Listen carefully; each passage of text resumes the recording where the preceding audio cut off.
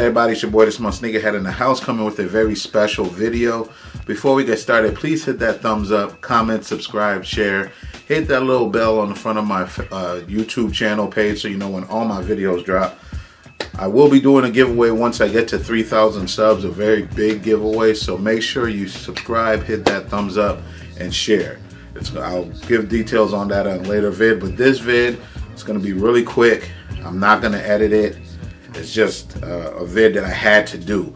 So as many of you know, yesterday the hip hop world received news that one of the legends of hip hop and my favorite hip hop group, Phife Dawg, aka Malik Taylor, died. Um, now they're saying it was complications due to possible complications due to his type 1 diabetes he developed back in 1990. He had a kidney transplant, I believe, in 06. But Phife Dawg was my favorite of the group. Believe it or not, even more than Q-Tip. And as any of you know, A Tribe Called Quest is my all-time favorite hip-hop group. You hear the song in the background, that's Electric Relaxation. That's been my theme song for almost a year now. So I was super, super saddened to get that this morning. I mean, I'm sorry, yesterday morning, get that information. And you know, a whole bunch of people were saying they were sad. Most of them probably don't even know any songs by Tribe, Tribe except for Scenario, but that's another story. So I just wanted to make a vid because to me he was a a legend in this game. Tribe Called Quest is a legendary group.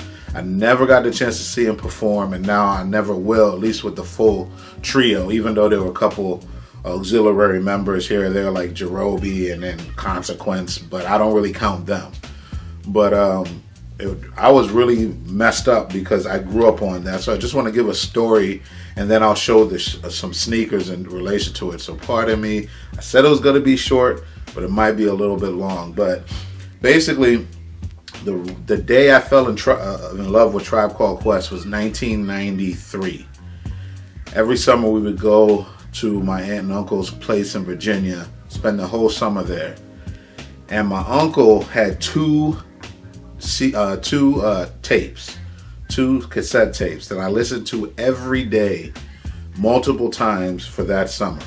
One is Heavy D, Peaceful Journey, and big uh, rest in peace, Heavy D. And two was Tribe Called Quest, Midnight Marauders, which is my favorite album of the Tribe. That album blew me away. That's what really made me fall in love with hip hop. I was always in tune with it, but after listening to those two albums, that's when I started to go back, listen to older 80s and 90s hip hop, and that's when I really fell in love with it. 93, I was what, 12, 11, 12 years old, and I would literally listen to those CD, I'm sorry, to those tapes over and over and over, all day, every day for that whole summer in 93. So Tribe Called Quest is a huge influence in my love of hip hop music and culture. I have all their albums.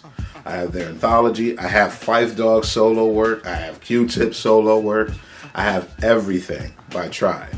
So everybody that knows me knows I am the biggest Tribe fan. So last year I did a video, and I'll leave a link here so you can see it.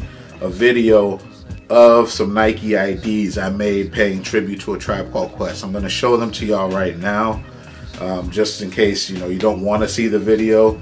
Um, but these three kicks right here were all based on albums and their album covers. So as I show them to you, I'll put the album covers up here as well so you can see it. So this first one here was the Air Max 1, favorite Nike Air Max silhouette by the way. This was for Beats Rhyme and Life, which was their third album, no, fourth album. So um, this one was this one came out in the mid 90s. It had tracks like Phony Rappers, which I love, Stressed Out, which I love but uh, it's it it's it's uh, represents the the cover of that album, and you can see it here the similarities. I have Beats Rhyme and Life on the back here. On the other pair, just has a TCQ. All of them do. Um, well, actually, just that pair has a TCQ, and then it has Beats Rhyme and Life because I couldn't fit all the words. But this was this Air Max One that I made. You know, it had uh, leather, leather, suede, gum bottom, super dope. As you can see, I've worn these quite a few times, even though it's hard to see with the gum bottom, but this was for Beats Rhymes and Life. The second pair were a pair of KD7s at the time, and this was um, for low end theory. So this is the KD7 low end theories that I made. Again, you could see the similarities in the album cover there. On the inner, I had AT on here and then CQ on the other pair. And then on the tongue, I had uh, Theory here and then the other pair had low end. But this too, again, I've worn this quite a few times. So I've gotten plenty of wears out of these. And a lot of people turned, these kicks actually turned a lot of people's heads. But again, it's for Low End Theory, which was one of their albums that really pushed them towards that. Because this had like you know, uh, Scenario, which everybody knows, the remix, which everybody knows. This was the album that it came from, but this is uh, my second pair. Now, the third pair, which most people say is the most heat pair that I had, were the Kobe 9 Elite Lows. These were the Midnight Marauder pair. So I had Marauder there, Midnight on the other pair. Super, super dope. Again, I wear I wear these kicks often.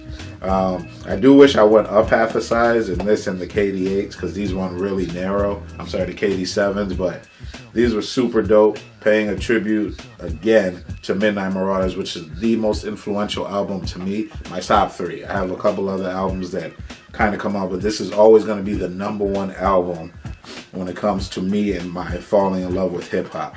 So yeah, this was really dope silhouette. I just figured I'd show these again, again paying tribute to a tribe called Quest and to show how much Phife Dawg, Q-Tip, Ali Shaheed Muhammad meant to me growing up and helped to mold me in terms of my love of hip hop, real hip hop, none of this trap nonsense that's out now.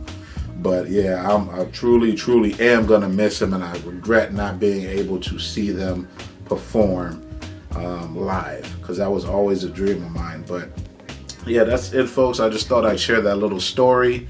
Um, and let me know down below how you feel. If you're a real hip hop, I'm sorry, a real tribe fan or not, just let me know how you feel. Let me know if you have any of the albums. Let me know, you know, what's your favorite. Better yet, do this.